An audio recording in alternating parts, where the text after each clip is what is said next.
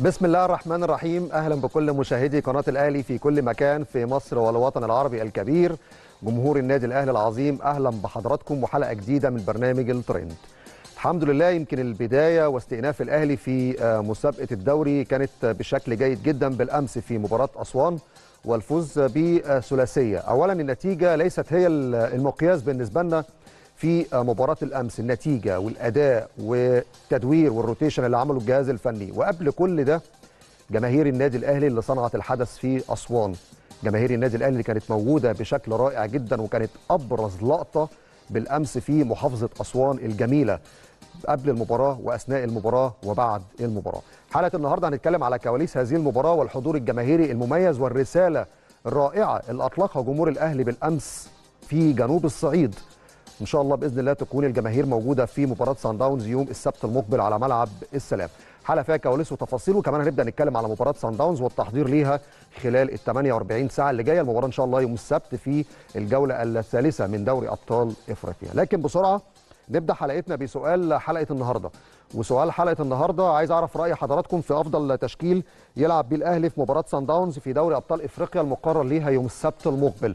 طبعا كولر ما حدش بيقدر يتوقعه الفترة الحالية. ولكن قدر الإمكان بنحاول الجمهور كده معانا يبدأ ينخرط شوية في متابعة التشكيل وأبرز اللعيبة اللي ممكن تبدأ في المباريات اللي جاية. شاركوا معانا في الإجابة على السؤال من خلال صفحاتنا على ال social media صفحة الفيسبوك وتويتر وإنستجرام وفي الفقرة الأخيرة هستعرض أكبر قدر من آراء حضراتكم. لكن نروح لأهم العناوين. في ترند الأهلي الفريق يبدأ الاستعداد لصن داونز غدا. وكمان لجنة الانضباط بالكاف تفحص شكوى الأهلي ضد الهلال. وأخيرا رغم الخسارة القاسية أرقام قياسية لصلاح. طبعا مباراة الأمس ليفربول وريال مدريد وانتهاء المباراة في الجولة الأولى بفوز الريال في ملعب الأنفيلد بخمسة أهداف مقابل هدفين كانت مسار حديث الكل بالأمس على ال social media خاصة أن البعض ربطها بأداء الأهلي ونتيجة الأهلي أمام ريال مدريد. ده شيء رائع جدا لما بتتفرج على دوري أبطال أوروبا والناس بتربط نتائج هذه البطولة بمباريات الأهلي في كأس العالم للأندية أمام الريال في المباراة اللي أقيمت في أوائل هذا الشهر. طيب نروح لاستعراض مباريات اليوم النهارده في مجموعة كبيرة جدا من المباريات المحلية والإفريقية. نبدأ مع بعض كأس أمم إفريقيا للشباب تحت 20 سنة اللي بتستضيفها مصر. في مباراة بدأت حوالي الساعة 4 وانتهى الشوط الأول بتقدم السنغال على موزمبيق بهدف مقابل لا شيء. طيب المباراة الثانية واللي بتهمنا بالتأكيد مصر ونيجيريا هتكون الساعة 7 ولا بديل أمام منتخب مصر سوى الفوز من أجل ضمان حظوظك في التأهل للدور التالي. طيب الدوري المصري يمكن في هذه الأثناء مباراة المقاولون العرب وفيوتشر وأيضا الساعة 7 مباراة المصري وبيراميدز. دي المباريات الأخيرة لفيوتشر وبيراميدز قبل مباراة الكونفدرالية يوم الأحد المقبل. طيب دوري أبطال أوروبا وجولة جديدة. الساعة العاشره من مساء اليوم مباراتين في توقيت واحد. إنتر ميلان بيستضيف بورتو ولايبزيج الألماني بيستضيف مانشستر سيتي.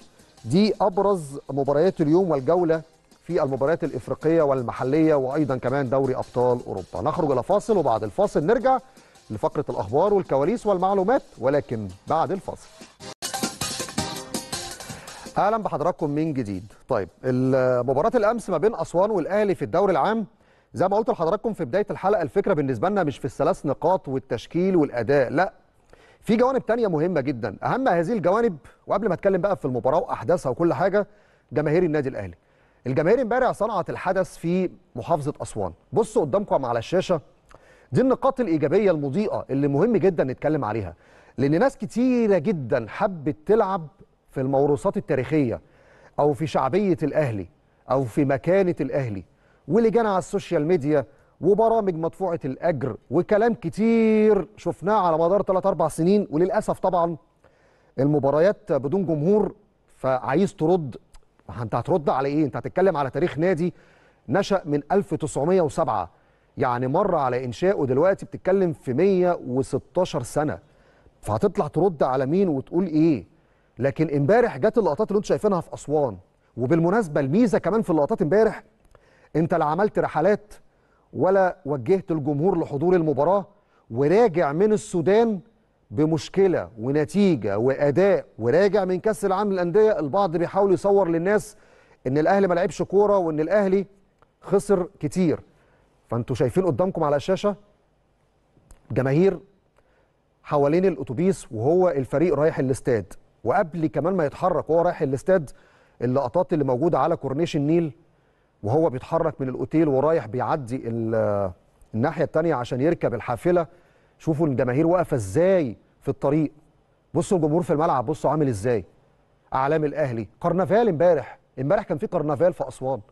والله يا جماعة يعني عايزين نستعيد من تاني الصورة الحضارية اللي كانت موجودة في الملاعب المصرية قبل كده. والصورة الحضارية مش هتظهر ومش هترجع إلا لما الجماهير تملى الملاعب. وجماهير النادي الأهلي بالأمس امبارح والله العظيم ما في غلطة. لا في الدخول للاستاد ولا في المدرجات ولا في المباراة ولا أثناء ال 90 دقيقة. الصورة الجميلة دي نفسنا نشوفها الفترة اللي جاية. وبعدين ملعب أسوان امبارح إحنا مش محتاجين بقى نفرق ما بين آه، الجماهير الدرجة الثالثه اللي هتقعد فيها جماهير الأهلي والجماهير الناحية الثانية هتقعد فيها جماهير أسوان. جماهير أسوان امبارح احتفلت حتى وقت الهدف بتاع الأهلي وده كنا بنشوفه زمان. كنت تروح تلعب مثلا في المحلة ولا في اسكندرية أو في المنصورة؟ على سبيل المثال يعني. في البداية تلاقي مثلا إيه جمهور الأهلي واخد مثلا إيه الجهة الثالثه أو الدرجة الثالثه اللي ورا الجون. وباقي المدرجات كلها لجماهير المحلة أو المنصورة أو حتى الاتحاد السكندري أو كده. وبمجرد أن الأهلي يحرز هدف هتلاقي الملعب كله اكتسب اللون الأحمر. امبارح إحنا شفنا الصورة دي. امبارح كان المنظر جميل جدا والصورة مبدعة. وكمان أثناء ال- النقل صورة المباراة بالأمس من ملعب أسوان حتى فوق الأسطح والمنازل الجماهير بتتفرج على المباراة. قلت لكم امبارح جماهير النادي الأهلي لا عملت رحلات ولا طلعت قطار من القاهرة للسفر إلى أسوان ولا حتى قمت بأي حاجة متعلقة بحضور الجماهير. ولكن جماهير الأهلي مش محتاجة حد يقول لها اطلع ورا الفريق في أي حتة. أنا كنت مراسل في وقت من الأوقات وكنت بروح مع الأهلي في كل محافظات مصر. والله العظيم كان بتيجي حافلات وأتوبيسات وجماهير بتسافر في من كل حتة. أنا فاكر في ماتش الأهلي كان بيلعبوا في أنجولا في مدينة ومقاطعة اسمها ليبولو. دي على مسافة حوالي 300 كيلو من العاصمة الأنجولية لواندا لا في إمكانيات للتنقل ولا في مطار في المدينة. ولا حتى في انترنت يعني مش عايز أقول لكم ال- الحالة المعيشية هناك إزاي. وقيس فجأة فوجئت بوجود أكتر من حوالي 200 مشجع أهلاوي قاطع مسافة رحلة برية من أديس أبابا إلى أنجولا. هل تتخيلوا إن ممكن جمهور الأهلي أو في جمهور في أفريقيا يعمل ده؟ أنا شفت ده والله العظيم بعيني. وكانت كواليس الأهلي متصورة من خلال شاشة قناة الأهلي وشفنا كل الأحداث دي. ناس بتسافر وبتقطع أميال وألاف الكيلومترات. ومش رحلات طيران ده انت كمان بتنزل أديس أبابا وبتتحرك من أثيوبيا عشان تروح الكونغو برازافيل أو الكونغو الديمقراطية أو توصل لانجولا بالطريق البري. طريق بري يعني إيه؟ أنت بتتكلم في يومين ثلاثة سفر. ماشي في أدغال القارة الإفريقية. ممكن تواجه مخاطر كتيرة جدا. هي دي جماهير الأهلي. وده اللي إحنا نا- دايما نفسنا نشوفه من جماهير الأهلي الفترة اللي جاية. في أوقات ممكن تكون بعض الظروف بتمنع الجمهور يحضر بالكثافة اللي إحنا شفناها. ولكن المنظر امبارح والله العظيم فكرنا ورجعنا. مش هقول للتسعينات بس خلال السنين اللي فاتت مشوار وبطولات الأهلي في 2012 و14 بطولة الأهلي في الكونفدرالية دوري أبطال إفريقيا 2012 و13 رحلة جروة في 2008 رحلة تونس 2012 الرحلات الإفريقية للأهلي لعبها في البرازافيل أو في الكونغو الديمقراطية في كينشاسا في مازيمبي. الأهلي يعني الحمد لله جمهور الأهلي دايما بيصنع الحدث والصورة بتاعت ماتش أسوان امبارح ما كانش ينفع نعديها. الصورة دي لازم تبقى ترند على ال social media لازم نتكلم عليها لازم نبروزها لأن امبارح ال social media كلها بلا استثناء على الفيسبوك وعلى تويتر وعلى حتى الفيديوهات اللي موجودة على اليوتيوب الكل بيتكلم على صورة جمهور الأهلي اللي كانت امبارح بصراحة يعني ادتنا كده جرعة تفاؤل إن بعد الأحداث اللي تمت في مباراة الهلال السوداني لا إن شاء الله الفترة اللي جاية جمهور الأهلي هيكون أكبر داعم وسند للفريق الفترة اللي جاية. ونتمنى يا رب بإذن الله يكون في حضور جماهيري كبير في مباراة سان داونز طبعا السعة الرسمية اللي تم إعلانها 10000 ولكن نتمنى نتمنى الفترة اللي جاية إن الأعداد تزيد في ظل إن الاتحاد الإفريقي سمح وبقى قرار رسمي صدر في 5 فبراير الملاعب كلها السعة الكاملة بدون تحديد أي حصة أو أي أعداد إلا لو القاف عنده قرار متعلق بمعايير الأمن والسلامه لكن طالما الملعب يسمح إن يكون فيه 30 40 ألف نتمنى يا رب ده يحصل في الفترة اللي جاية عشان نشوف المشاهد الجميلة اللي خلت امبارح مارسيل كولر يتكلم عن جماهير الأهلي بشكل واضح وصريح. لأن الراجل من ساعة ما جه ما شافش الجمهور إلا في ملعب هزاع بن زايد في أبو ظبي وشاف شعبية الأهلي وجماهيرية الأهلي. لكن لما جه من السودان وشاف الجمهور إزاي بيستقبل الأهلي في أسوان الراجل قال لك يا سلام ده لو في أفريقيا ولا في الماتشات اللي جاية ده هيدي حماس كبير جدا للعيبة وهيدينا دافع اللي إحنا نشتغل ونبتكر ونحضر ونكسب كل ماتشاتنا اللي جاية دي النقطة الأولى. النقطة الثانية ماتش أسوان امبارح الميزة اللي فيه عدوا بقى معايا. اولا نتيجة ثانيا أداء ثالثا ال rotation والتدوير اللي تم امبارح من مارسيل كولر. ده ما كانش بيحصل في السنتين الثلاثه اللي فاتوا على فكرة رغم إن الحمد لله الأهلي كان بيفوز ببطولات لكن كان بيجي عليك أوقات كده مباريات الدوري كان بيبقى فيها مطبات كتير وده اللي خسرك الدوري آخر سنتين. يعني كهربا مثلا آخر ماتشين ما كانش أساسي امبارح بدأ أساسي. وتحركات كهربا امبارح كانت لافتة للنظر رأس حربة نموذجي. بالإضافة لكده حسين الشحات بيواصل تألقه وإبداعه. امبارح عمل ثلاث أهداف صنع ثلاث أهداف امبارح لأفشة وعبد القادر ومحمود كهربا. حسين الشحات امبارح كان متألق. طيب التدوير في إيه بقى؟ اولا بدأت امبارح بمحمود متولي مكان ياسر اللي لعب مباراة الهلال. بدأت امبارح بمحمد أشرف مكان علي معلول اللي لعب back left في ماتش الهلال ولعب كأس عالم أندية. بدأت بخالد عبد الفتاح مكان محمد هاني في مباراة امبارح. بدأت بقفشة أساسي وما كانش أساسي في مباراة الهلال. بدأت بمروان عطية بجوار ديانج وريحت حمدي فتحي وعمرو السولية لسه ما كانش جاهز. فدي كمان تتكلم على عنصر جديد في نص الملعب. امبارح بدأت بكهربا مكان محمد شريف. شوفوا التدوير في التشكيلة وصل لأي مرحلة.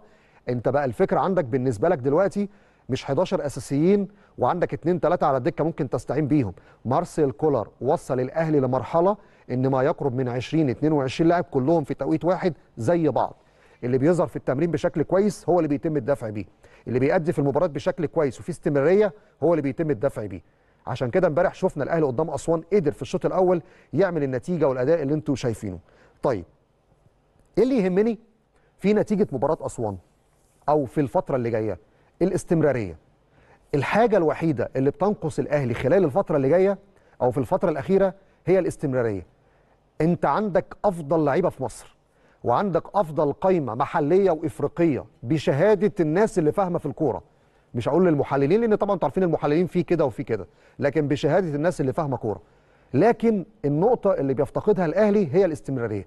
الجيل ده ممكن يعني يسطر تاريخ أكبر من أجيال كتير سبقت في الفترات السابقة.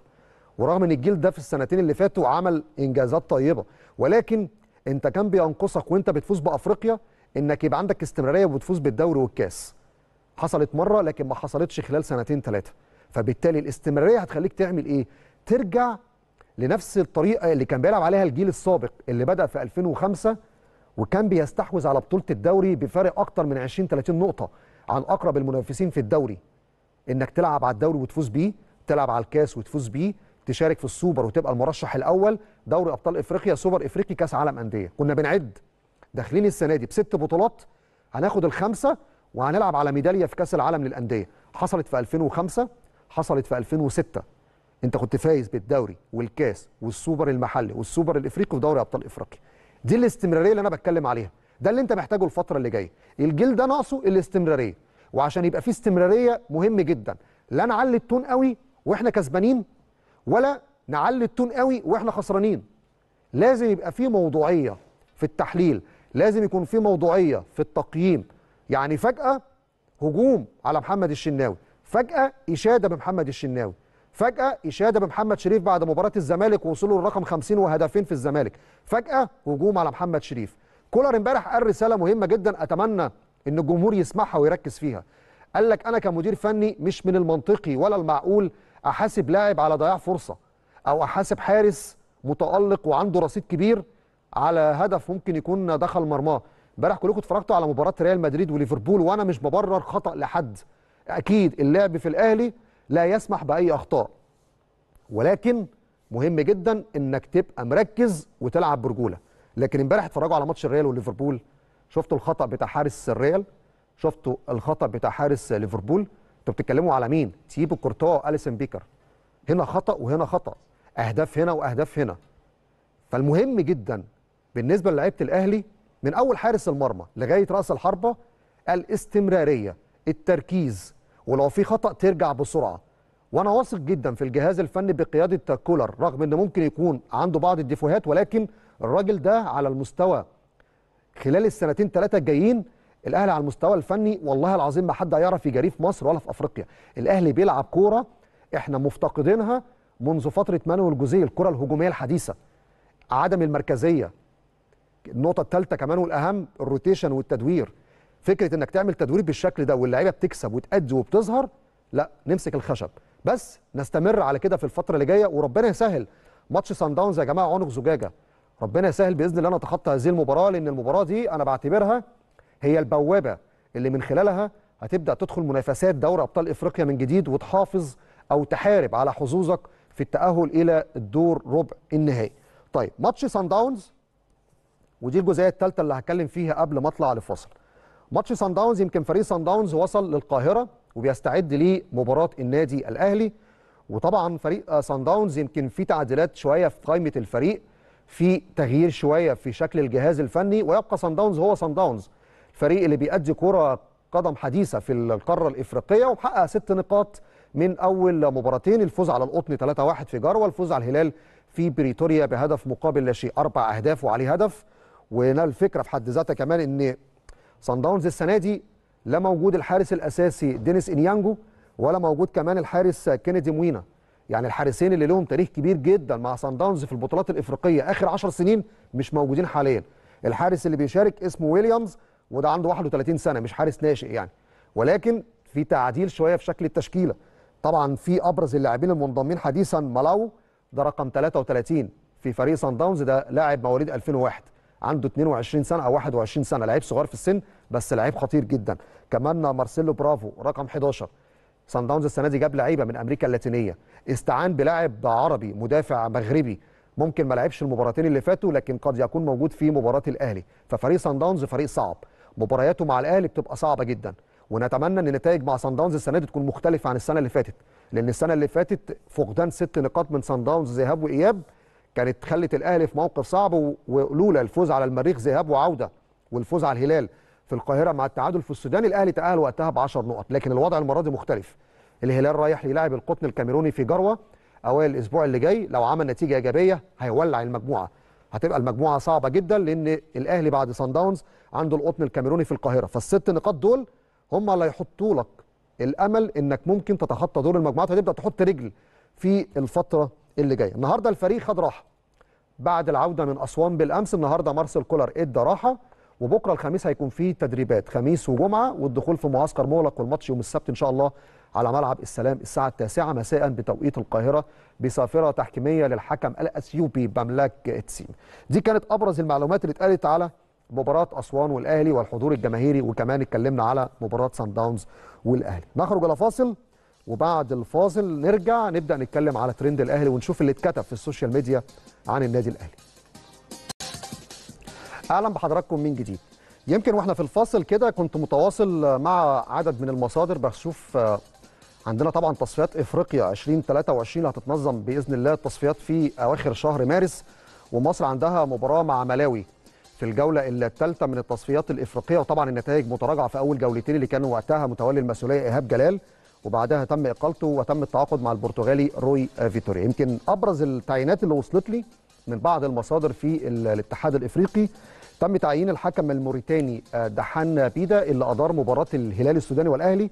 هو اللي هيكون حكم مباراة مصر وملاوي في الأجندة الدولية خلال شهر مارس المقبل في التصفيات الإفريقية المؤهلة لبطولة الأمم في الكوت ديفوار. يمكن ده خبر لسه واصل لي حالا. خبر تاني مهم جدا. ليه بقى مهم؟ فاكرين لما طلعت اتكلمت على الحكام المصريين اللي بيتم الاستعانة بيهم في التصفيات الإفريقية أو في مباريات إفريقيا؟ وقلت إن وقتها إبراهيم نور الدين لا يتم الاستعانة به في أبرز المباريات في الفترة الأخيرة. من شوية جالي برضو تعيين لطاقم تحكيم مصري في التصفيات الإفريقية. مباراة مين؟ مباراة ليبيا وتونس في التصفيات الإفريقية المؤهلة لكأس الأمم 2023 الاتحاد الإفريقي استعان بالحكم الدولي أمين عمر لإدارة مباراة ليبيا. وتونس يوم 28 مارس على ملعب بنينا في ليبيا. ومعاه مساعدين طاقم تحكيم مصري أمين عمر حكم ساحة. معاه مساعد أول محمود أبو الرجال. معاه مساعد تاني أحمد حسام طه. وحكم رابع محمود ناجي. شوفوا بقى من شهر 10 لشهر 3 على مدار خمس شهور شوفوا الاتحاد الإفريقي استعان بكم واحد من القائمة الدولية للحكام المصريين. ولم يستعين بالكابتن إبراهيم نور الدين. يبقى لما نطرح السؤال ونقول للجنة الحكام إزاي حكم مستبعد من أبرز وأهم المباريات الإفريقية وأنت بتسند ليه أهم المباريات المحلية؟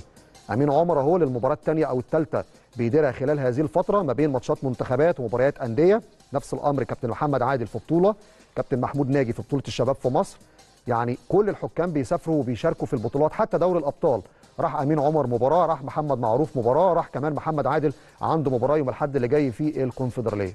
فأدي كمان تعيين رسمي لسه وصل لي حالا مباراة ليبيا وتونس هيديرها الكابتن أمين عمر وماتش مصر وملاوي هيديره الكابتن دحان بيدا الحكم الموريتاني اللي سبق ليه إدارة مباراة الهلال السوداني والأهلي. طيب نروح بقى لترند الأهلي ونشوف أبرز المعلومات اللي موجودة في ال social media بخصوص الأهلي خلال الساعات الأخيرة. نبدأ مع بعض بحساب كورة بلس واللي بيتابع خلال الفترة الأخيرة أبرز الأمور المتعلقة باجتماعات لجنة الانضباط في الاتحاد الإفريقي. الخبر البارز بالنسبة لنا في كورة بلس لجنة الانضباط بالكاف تبدأ العمل على شكوى الاهلي ضد الهلال. طيب المصدر قال لكورة بلس إن سكرتارية اللجنة بتجمع كل الأمور المتعلقة بشكوى الاهلي ضد الهلال وبتجهز ملف كامل قبل عرضه على اللجنة اللي لسه ما حددتش ميعاد رسمي للاجتماع. المعلومات اللي عندي في هذا الشأن بشكل رسمي. مجرد ما تم إرسال شكوى للأهلي شكوى الأهلي إلى الاتحاد الإفريقي ودفع الرسوم المقررة. الاتحاد الإفريقي بدوره أرسل خطاب رسمي لنادي الهلال السوداني وطلب منه الرد على شكوى الأهلي قبل يوم السبت المقبل. منحوا مهلة أربع أيام وطلب منه الرد بحد أقصى قبل يوم السبت المقبل 25 فبراير والرد على كل ما ذكر في شكوى النادي الأهلي بشأن الأحداث التي جرت في ملعب الجهار الزرقاء ملعب نادي الهلال السوداني. مجرد ما الهلال يرد وبمجرد إرسال تقارير الحكم والمراقب والمنسق الأمني ستجتمع لجنة الانضباط للنظر في شكوى الأهلي والماتيريالز اللي موجود في الشكوى وكمان النظر في تقارير الحكم والمراقب والمنسق الأمني ورد الهلال السوداني اللي المفروض كمان يكون رد بأسانيد مش رد مطلق كده أو رد مرسل. وبعد ذلك ستجتمع اللجنة وستحدد الموقف والقرار الرسمي في هذا الشان ده الأمور المتعلقة بشكوى الأهلي ضد الهلال السوداني. طيب نروح بقى لسبورت 360 مصرية وبيتكلموا على إحصائية لمحمد الشناوي. تصدى محمد الشناوي لثلاثه من آخر خمس ركلات جزاء سددت عليه. صد ركلة جزاء من ريال مدريد كان لوكا مودريتش. في مباراة فلامينجو طبعا يعني تم إحرازهم. صد في مباراة الهلال السوداني وصد أيضا في مباراة أسوان وبالتالي تصدى لثلاثة من آخر خمس ركلات جزاء. طيب نروح ل يلا كورة. وبيتكلموا على الشناوي ووصفوه بالإخطبوط. الإخطبوط محمد الشناوي الأكثر حفاظا على نظافة شباكه في الدوري المصري. إحنا بنتكلم الشناوي امبارح كان خمس أهداف بس اللي مني بيهم مرمى الأهلي. والمباراة انتهت امبارح الحمد لله 3-0 فبالتالي أقوى دفاع وأفضل حارس مرمى في الدوري حتى الآن هو محمد الشناوي. طيب الوطن سبورت بيتكلموا على إن في ثلاث تعديلات من كولر في تشكيل الأهلي أمام سان داونز بدوري أبطال إفريقيا. قلت لكم فكرة التشكيل الناس كتير بتقعد تتوقع كولر هيعمل إيه ولكن صعب جدا تتوقع في ظل التدوير اللي موجود. ممكن أكيد هيقلش منك مركز أو اتنين لكن تتوقع بشكل كامل بتبقى صعبة جدا. آه الوطن سبورت بيتكلموا إن من المرجح يعني طبقا لتوقعاتهم ومعلوماتهم إن هيرجع معلول ومحمد هاني وحمدي فتحي مكان خالد عبد الفتاح ومحمد أشرف وكمان مروان عطية. ننتظر ونرى. لعل وعسى ممكن يكون كولر محضر مفاجأة ثانية في مباراة سان داونز سواء في طريقة اللعب سواء في التحركات في التمركز في رأس الحربة. كل ده هنشوفه خلال الساعات اللي جاية. عايز أطمنكم الأول على كهربا. دكتور أحمد أبو عبلة كان اتكلم امبارح على كهربا وقال حس باجهاد عضلي شوية ولكن إن شاء الله هيكون سليم وجاهز قبل مباراة الهلال. كمان امبارح فوجئنا إن حسين الشحات يعني ما كانش فيه أي إصابة ولكن لما وصل القاهرة فوجئنا إن كان عنده إصابة كده وتعرض لكسر في أحد أصابع إيده وعمل جبيرة كده بسيطة لكن حسب معلوماتنا إن مش هتمنعه من المشاركة في مباراة الهلال السوداني لكن إن شاء الله بإذن الله تكون اللعيبة كلها جاهزة على مباراة الهلال. بالمناسبة كمان عمرو السولية هيكون إن شاء الله جاهز في التدريبات ابتداء من غدا. الوطن سبورت الأهلي يجدد عقود ثلاث لاعبين خلال أيام. طيب الأهلي هيجدد عقود ثلاث لعيبة والكلام بخصوص حسين الشحات وياسر إبراهيم ومحمد هاني ننتظر ونرى اللي هيحصل خلال الفترة الجاية. لكن في ملف التجديد يا جماعة عايز اكد لكم مفيش أي أزمة مفيش أي مشاكل خالص. كل اللعيبة حصل معاها اجتماعات وفي التوقيت الرسمي النادي الأهلي أكيد هيعلن خطواته في الفترة اللي جاية. والميزة كمان مفيش لعيب راح للأهلي قال له أنا عندي عرض. ركزوا قوي في المعلومة دي مفيش لعيب راح للأهلي قال أنا عنده عرض. أو عنده عروض خلال الفترة اللي جاية. فأكيد في تقدير كبير جدا من الطرفين سواء من الأهلي للعيبة أو حتى من اللعيبة للأهلي واستمرارهم في الفريق الفترة اللي جاية. كورة بلس نفس الكلام الأهلي يفتح ملف تجديد حسين الشحات بفرمان من آه، كولر. وأنا قلت لكم الموضوع ده ما فيهوش أي مشاكل خالص. آخر حاجة معايا كورة 11 تقارير. الأهلي يستعجل فيفا للحصول على مكافأة مونديال الأندية التي تبلغ 2 مليون دولار. سبق قبل كده وطلعت واتكلمت وقلت مش فكرة استعجال. فكرة إن الاتحاد الدولي كان مدي مهلة لغاية 18 فبراير. ابعت قبل هذه المهلة واطلب ال- القيمة المالية في جائزه البطولة وارسل الحساب البنكي. وده حصل بالفعل قبل 18 فبراير. النهارده إحنا بنتكلم في 22 فبراير يعني أربع أيام قبل نهاية الشهر هيكون في رد رسمي وإرسال الجائزة المالية من الاتحاد الدولي فيفا. نخرج إلى فاصل وبعد الفاصل نكمل مع بعض باقي فقرات برنامج الترند طيب عندنا بالتأكيد حديث عن تشكيل منتخب مصر. مصر النهارده هتلعب مع نيجيريا حوالي الساعة 7 بتوقيت القاهرة في الجولة الثانية من التصفيات أو بطولة أمم إفريقيا للشباب تحت 20 سنة. الجهاز الفني بقيادة منتخب مصر تحت 20 سنة أعلن التشكيل قبل موعد المباراة. المباراة حوالي الساعة 7 يعني قبل ساعة ونص هيكون في حراسة المرمى مصطفى مخلوف عبد الرحمن جوده وعمر فايد وأحمد رضا وكريم الدبيس في خط الدفاع خالد عوض ومحمد حمدي وماجد هاني في وسط الملعب. أحمد عبد الرحيم ايشو ورأفت خليل وبلال مظهر في خط الهجوم. ده التشكيل هيلعب بيه منتخب مصر في مواجهة نيجيريا اليوم في الجولة الثانية. ولا بديل أمام منتخب مصر سوى الفوز لضمان حظوظه في ظل إن طبعا السنغال متقدمة على موزمبيق في المباراة الجارية في هذه الأثناء. طب نروح بقى للترند العالمي ونشوف اللي اتكتب في الترند العالمي خاصة إن دوري أبطال أوروبا المباراة بدأت أو المباريات بدأت الفترة الحالية وإمبارح كانت في مباراة كبيرة ما بين ليفربول وريال مدريد. حساب أوبتا للإحصائيات على تويتر بيقول إن محمد صلاح أصبح أكثر لاعب إفريقي في التاريخ يسجل أهداف في دوري الأبطال برصيد 44 هدف. إمبارح كان خلاص هو على أعتاب يعني فرق هدف ما بينه وما بين ديدي دروجبا. لكن صلاح بصراحة في فترة مشاركته وانتقاله لفريق ليفربول عامل أرقام قياسية. امبارح أصبح هو أكتر لاعب إفريقي في التاريخ سجل أهداف في دوري الأبطال 44 هدف. هل الأرقام وقفت عند هنا بس؟ لا تعالوا كمان نشوف حساب بسكواكا للإحصائيات أيضا على تويتر. بيقولوا إن محمد صلاح أكتر لاعب في تاريخ ليفربول سجل أهداف في دوري الأبطال برصيد 42 هدف وتخطى ستيفان جيرارد برصيد 41 هدف. يعني الأول كأكثر لاعب إفريقي هو دلوقتي رقم واحد. ب 44 هدف. الأمر الثاني تخطى كمان أسطورة ليفربول ستيفان جيرارد وبقى أكتر منه ب 42 هدف وستيفان جيرارد 41 هدف. طبعا صلاح في 44 هدف هو مش اهدافه مع ليفربول بس أهدافه في دوري الأبطال مع كل الأندية اللي شارك فيها في دوري أبطال أوروبا وبالتالي دي أرقام قياسية لمحمد صلاح. طيب لسه في رقم تاني لمحمد صلاح وحساب أيضا اوبتا للإحصائيات بيقول إن محمد صلاح أول لاعب من الدوري الإنجليزي يسجل ويصنع في 8 مباريات بدوري أبطال أوروبا. سجل وصنع في 8 مباريات بدوري أبطال أوروبا. دي كلها أرقام يعني للتاريخ للفرعون المصري محمد صلاح. طيب حساب أوبتا كمان بيقول إن ريال مدريد أول فريق يسجل خمس أهداف خارج ملعبه في دوري أبطال أوروبا منذ بداية البطولة في عام 2000 أو منذ يعني مباراته في عام 2003 يعني تخيلوا ريال مدريد من 2003 ل 2023 آه آه ده منذ بداية الحساب نفسه يعني حساب الإحصائيات اللي بدأ في 2003 يعني على مدار 20 سنة. في الفترة دي كلها الريال ما قدرش يسجل خمس أهداف خارج ملعبه. فهل تتخيلوا إن الريال على مدار 20 سنة ما قدرش يسجل خمس أهداف خارج ملعبه. ولما سجل ولما سجل سجل في مين؟ في ليفربول. يعني ده حاجة أرقام قياسية لفريق الريال. وتيجي تتفرج على الريال على فكرة على أرض الملعب ممكن ما يحسكش إن هو عمل مباراة كبيرة أو أداء كبير ولكن عرف يكسب ويجيب نتيجة وسكور ويتأهل كمان للأدوار النهائية.